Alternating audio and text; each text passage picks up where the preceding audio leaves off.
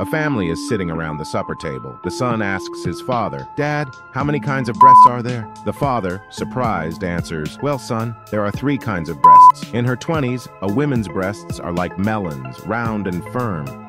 In her 30s to 40s, they are like pears, still nice but hanging a bit. After 50, they are like onions. Onions?